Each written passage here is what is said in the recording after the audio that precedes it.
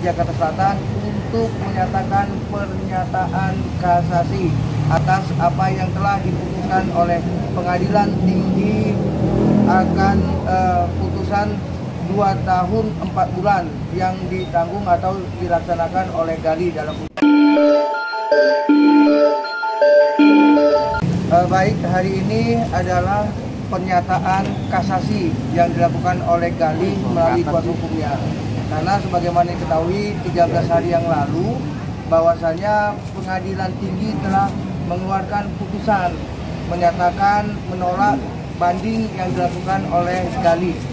Dan oleh karenanya pada hari ini kami mendatangi Pengadilan Negeri Jakarta Selatan untuk menyatakan pernyataan kasasi atas apa yang telah diputuskan oleh Pengadilan Tinggi akan uh, putusan 2 tahun 4 bulan yang ditanggung atau dilaksanakan oleh Gali dalam putusan tersebut.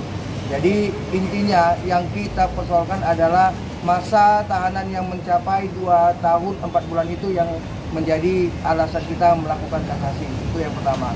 Yang kedua terhadap argumentasi hukum dan fakta-faktanya tentu akan kami sampaikan pada minggu depan pada saat uh, menyampaikan memori kasasi. Oleh karenanya hari ini kita hanya menyatakan keberatan saja atau menyatakan pernyataan kasasi saja.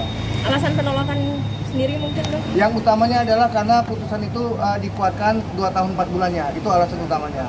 Alasan kedua adalah argumentasi hukum yang akan kami tuangkan di antaranya adalah bahwa hakim banding tidak mempertimbangkan hal-hal yang menjadi keberatan, hal-hal yang kita anggap, yang kita nilai bahwa ada uh, persoalan saksi, ada persoalan apa namanya bukti fakta persidangan yang tidak sesuai dalam putusan pengadilan negeri tingkat satu itu yang tidak dipertimbangkan oleh pengadilan tingkat banding maka nanti hal-hal yang menjadi argumentasi hukumnya akan dituangkan dalam memori.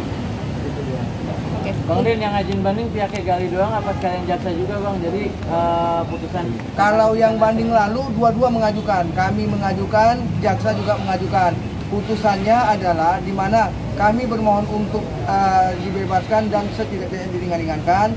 Jaksa meminta untuk setidak-tidaknya sama dengan putusan uh, tuntutan yang dia lakukan di tingkat pertama. Itu permohonan jaksa.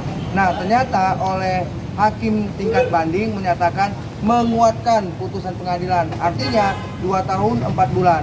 Nah sekarang untuk hari ini kasasi baru pihak kami yang menyatakan pernyataan kasasi atas uh, putusan banding pengadilan tinggi DKI.